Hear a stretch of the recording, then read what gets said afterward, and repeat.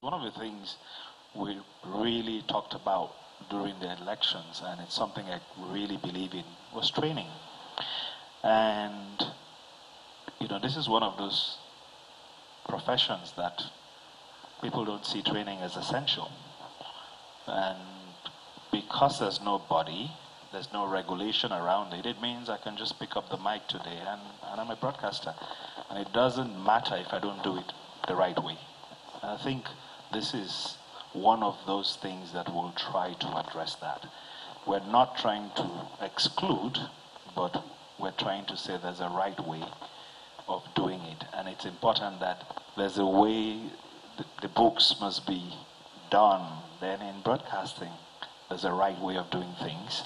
And there should be a body that tries to regulate that. And we're happy to have as many people as possible be broadcasters, but there should be a process.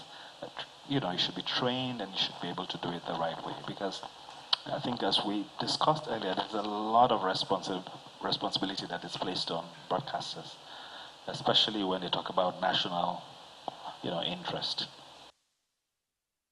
Meanwhile, the chairman of Channels Media Group, Dr. John Momoh, highlighted the significance of repositioning the media landscape with the inauguration of the new body for broadcasters.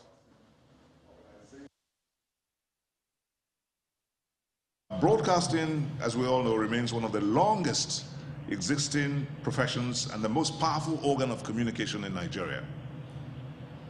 But a glance at many professions in Nigeria, as you alluded to, will show the need for us to have the Society of Nigerian Broadcasters, the NBA, the Nigerian Bar Association, the Medical Association, the Nigerian Medical Association, the pharmacists, we have the Pharmaceutical Society of Nigeria, the Nigerian Society of Engineers, the Institute of Chartered Accountants of Nigeria, to mention but just a few, all have the backing of law and they regulate their profession and the professionals.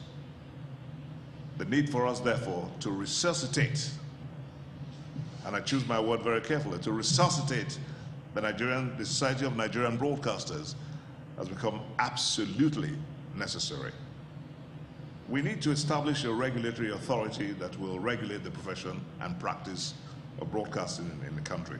Set the required academic qualification and ethical standards for broadcasters.